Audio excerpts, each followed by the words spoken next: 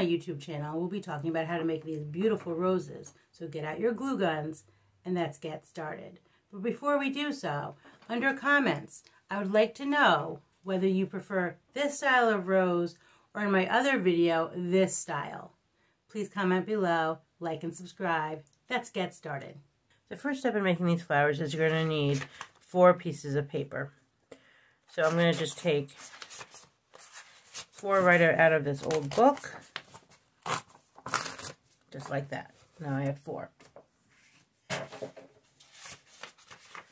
And what you're going to do is you're going to start by making a perfect square. So you're going to take the right bottom corner and bring it up to form a triangle.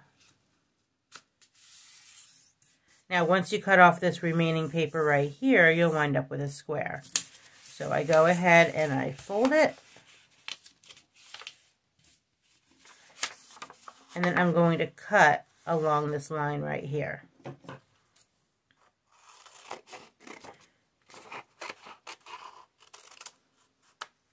And that's what's going to give you your perfect square. Now the next step is you're going to fold it three times, okay? So fold, that's fold one, fold two, fold three.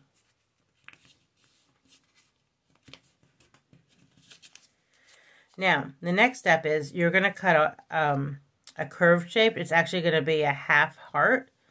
And you're going to cut from here to here. This is the most tricky part is you're going to make sure that you keep this part intact so that your heart doesn't fall apart. So I'm going to go ahead and cut this cone shape or I think of it as a half heart. And then I'm going to cut this very tip off so that the the flower has a little middle part. And then you're going to unfold it.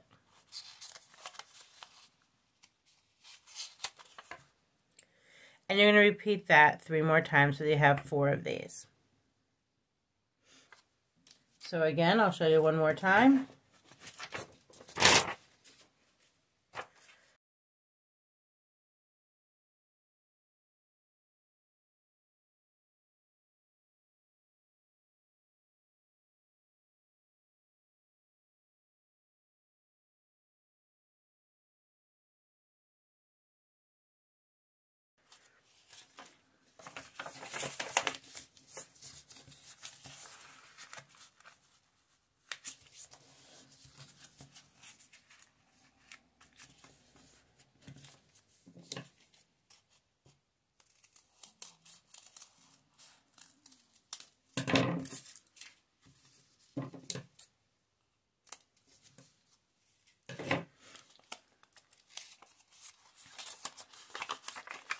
Okay, so now I have my four. One, two, three, four.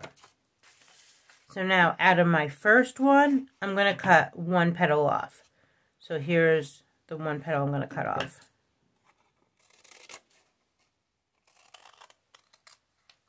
Out of the next petal, I'm going to cut two petals off.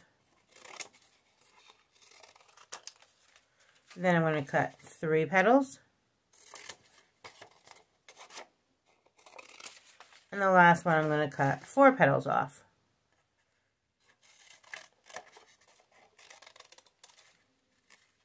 Now this extra four petals you're not going to need, so I'm going to get rid of that. And then what you're going to do is you're going to line these up from one, two, three,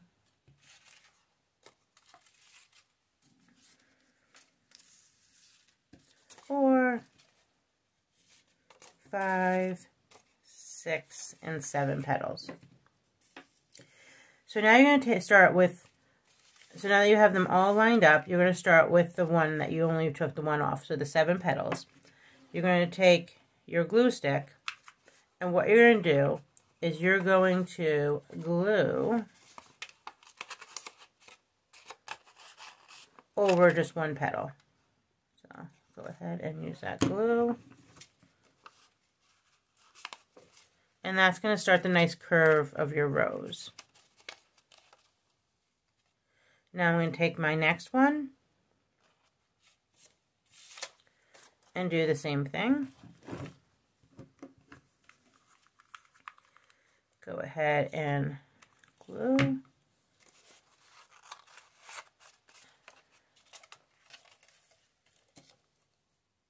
It does get quite warm. Okay. And then I'm going to do the same thing. So as you can see, each one is going to get a little bit smaller.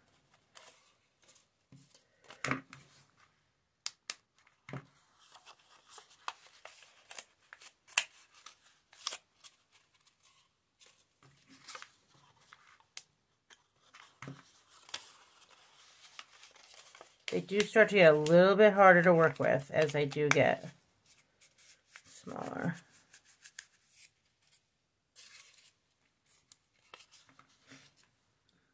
A little more.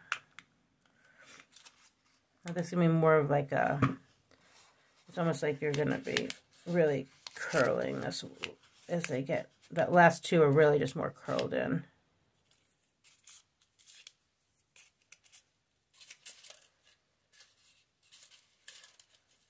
And then for our very last one, this one's a little bit trickier to work with because you're just going to be rolling that up. And that's going to be the very center of your rose.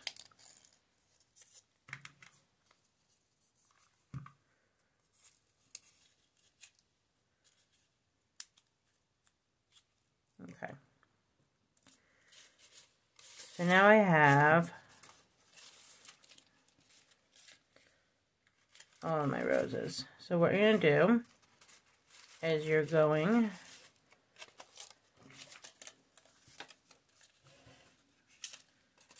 go ahead and start gluing one into the other.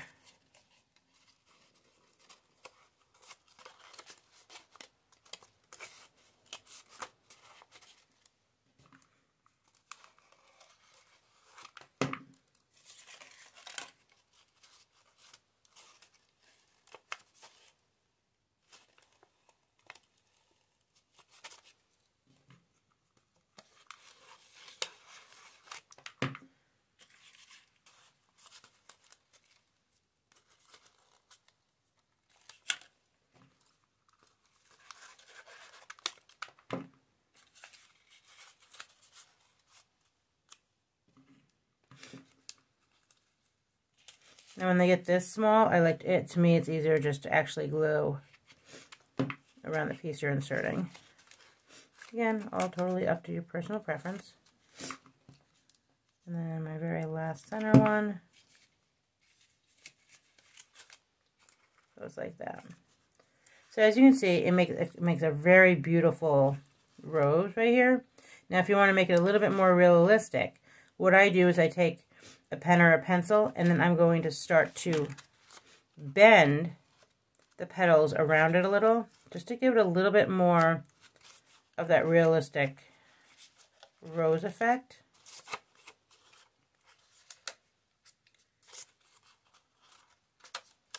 This is totally up to you how much or, or not to do it at all.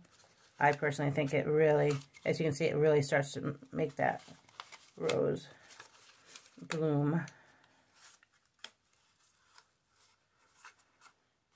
Now this I made out of an old book.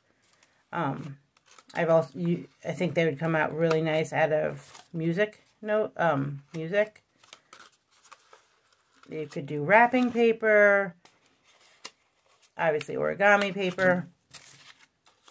It's totally up, up to you what kind of design you make. And so as I go ahead and continue to curve these, you can see it really does start to really make a beautiful, beautiful rose.